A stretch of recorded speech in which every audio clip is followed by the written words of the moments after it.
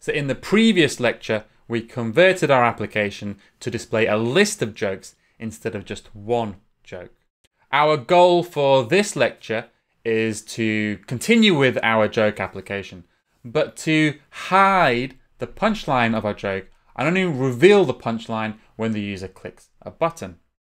By the end of this lecture, you're going to learn how to use the hidden DOM property to hide and show elements. You're going to know the difference between DOM properties and HTML attributes. You're going to know how to perform input property binding with the square bracket syntax, and you're going to know how to perform output event binding with the bracket syntax. So hiding and showing elements. Let me get some space here. We can hide any element by adding an attribute called hidden to the element in HTML. So we could just simply hide our punchline like so. And now if I save and rerun our application, we'll see that the punchline is in fact hidden.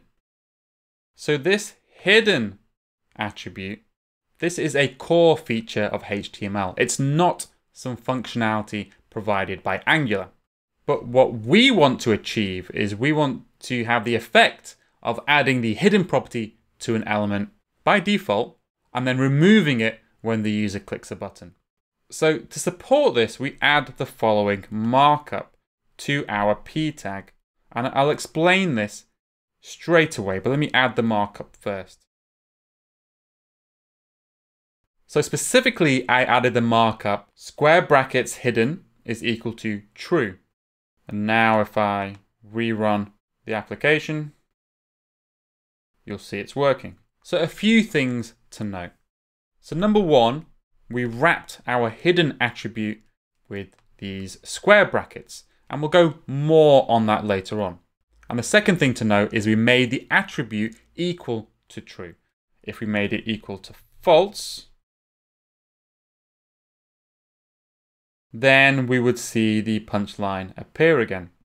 So if hidden is true, it's hidden. If hidden is false, it's shown. Let me set it to true again.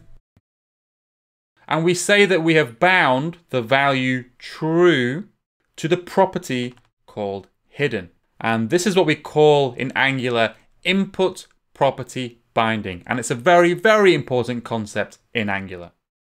Before we go any further though, I wanted to discuss the concept of an HTML attribute versus a DOM property. So the distinction between a HTML attribute and a DOM property is important in understanding binding in Angular. HTML is a set of written instructions for how to display a web page. The browser reads the HTML and creates something called a DOM, a document object model. This is the manifestation of all of those HTML instructions in memory. So div would be a DOM object. Under the div DOM object would be two other DOM objects, a h4, a heading DOM object, and a, a paragraph tag DOM object. Changing the HTML doesn't automatically update a web page unless the user refreshes the browser. Changing the DOM, however, instantly updates the web page. The DOM is the HTML in memory of the browser. So updating the DOM updates the instant current version of the browser. So there is mostly a one-to-one mapping between the names and values of HTML attributes and their equivalent DOM properties, but not always. The hidden HTML attribute is a good example. It only needs to exist on a HTML element to instruct the browser to hide the element. So if we change this to as hidden is equal to false, hidden is equal to true hides the element, but confusingly, so does hidden is equal to false. In HTML, we just need to add the hidden attribute to hide an element. What it's equal to has, has no meaning. the DOM representation of the hidden attribute is a property which is also called hidden, which if we set it to true, hides the element, and if we set it to false, shows the element. So Angular doesn't manipulate HTML attributes. It manipulates DOM properties. Because the DOM is what actually gets displayed, and manipulating a DOM property means the view gets updated straight away. So when we write hidden wrapped in square brackets, we are manipulating the DOM property and not the HTML attribute. And this is why the above, what we're doing, this is why it's called input property binding and not input attribute binding. So looking back at our use of the hidden property, the target inside the square brackets is the name of the property. So in the example we've got, the target is the hidden DOM property. The text to the right of the equal sign is JavaScript code that gets executed and the resulting value is assigned to the target. So true is just JavaScript code. So if you execute true, you get true. But if this was a function, this function would get executed and whatever this function returned, that would be assigned to the value of the hidden property. So again, we are binding to the DOM property hidden and setting it to true so the element is in fact hidden. So let's add a property called hide on each joke and set it to true, like so.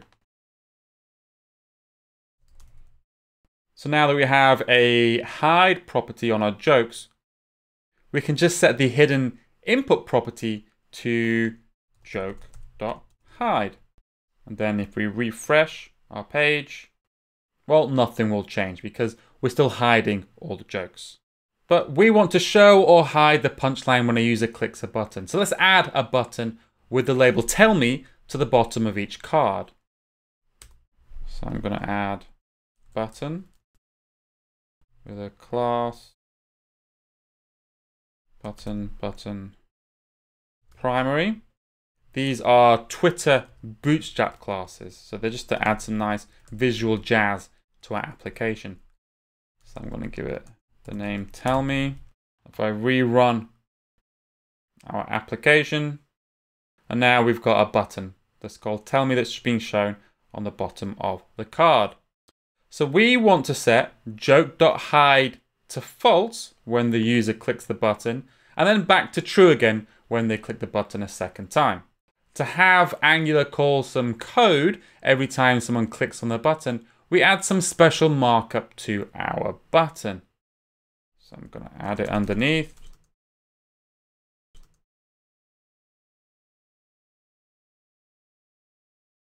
So we have some new syntax with brackets.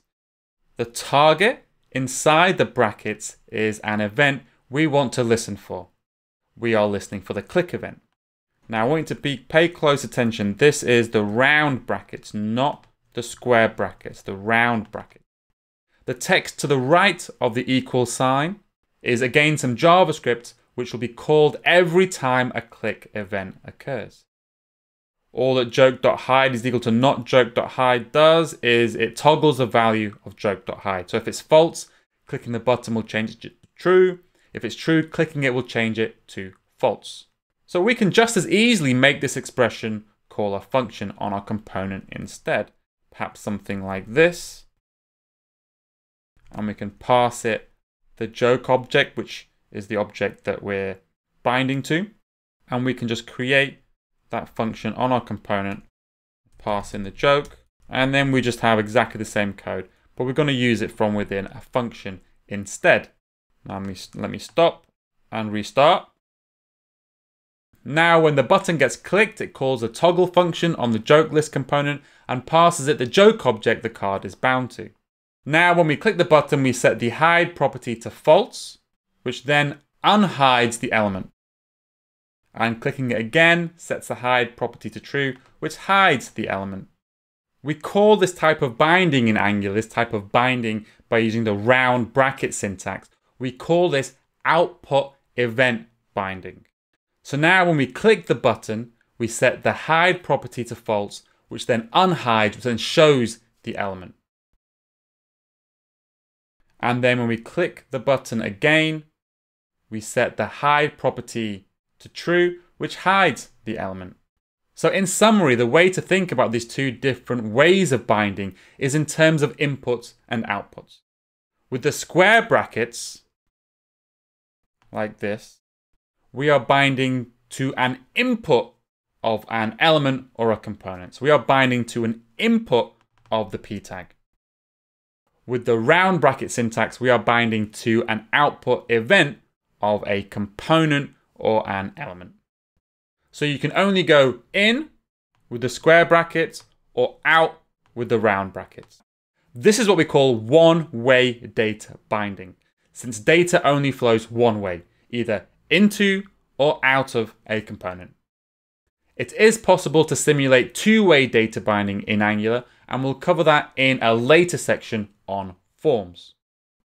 And next up, we're going to look at using a domain model in our application instead of plain old objects.